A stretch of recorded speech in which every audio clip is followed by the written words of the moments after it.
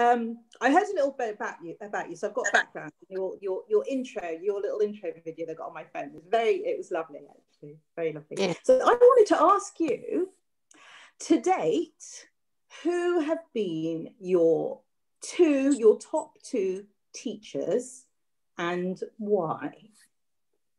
Well, um, on a Saturday, I go to this drama group, and the person who leads it is a person called Marie, Yeah. and she's very inspirational. So I'd say she's one of them.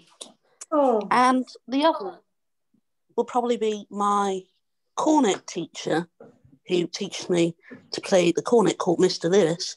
And probably because he's really good at explaining the technique for it. Yeah. Excellent. Excellent. I think teachers are just amazing. I mean, when I think back at my favorite teachers, I'm so grateful I had. I asked that question because I had. I was thinking about it myself, and um, I had a lot of help along the way. And when I look back, there are some unsung heroes in my life, and I think a good teacher is life changing a, a good teacher is life changing. And I, I, that's one thing I'm very grateful to my school, St. Peter's School, because I had a lot of amazing teachers who I didn't realize at the time was shaping my life just with just being really positive and just sort of propelling me forward. So shout out to all the great teachers in the world, um, wherever you are, especially your two who were, what were their names again? Um, well, I'm just, her name's Marie, and Marie. we just call her Yeah. Yeah. Shout out. And Mr. Lewis, my cornet. And Mr. Lewis. Awesome. Um, Wonderful. yeah. Excellent. Um, So I had one more, I had another, I had another question for you. It's in two parts.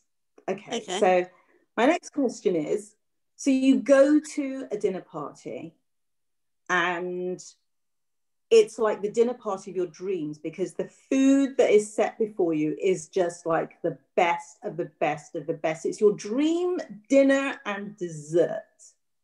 You are so happy. And I mean, like your top, top, top.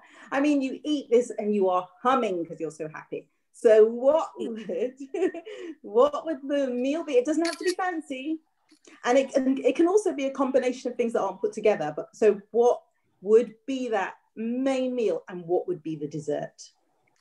um, I guess the main meal would probably be what I order all the time when I go to a restaurant. And that's usually a burger. So I'll probably choose a burger for the main course. Yeah. And then for the dessert, I usually at the same restaurant where I might order a burger for the dessert, order an ice cream sundae. So I'll have an ice cream sundae for a dessert. Delightful. I like it. Simple, classic.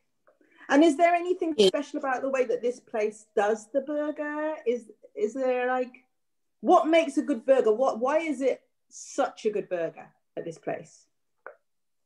Um, the sauces, I guess. Um, the fact that they Mm. do that they do it medium rare, or I've never really concerned myself with that, but yeah. it's just something that people care about. And I guess also, yeah, um, the chips have to be done really well. Yeah. Like you know, I like um, I don't re- actually no, I don't really care about how the chips are done. I just Mm. like well, I guess I like chips be quite long and maybe evenly cut, hmm and then I just uh, uh, on the dessert, I just like my well, my favorite ice cream will probably be in the sundae, and um, I guess it's really important to have your favorite things every now and then, Mm. Mm. even if they are the most unhealthy. yes, I agree. I absolutely agree. It just makes you mm, makes your soul sing. it's lovely. It's lovely. Wonderful. Actually, um, Yeah. so the next question is the polar opposite. You go to a dinner party and you get the worst meal that you can imagine that for personally for you it doesn't have to be disgusting to anyone else but to you it is your idea of ugh, literally hell on the plate. So bad that you cannot just to be polite you cannot even just eat half of it or a small portion like vile on a plate. Okay. dinner and Um, dessert. The worst. The worst of the worst. Well, I guess the main meal would be a stew or a casserole. That's just what I don't like. And then um, the dessert. This might sound weird, but I've never really liked bread and butter, butter pudding. yeah So that'll probably be hell on the plate for me.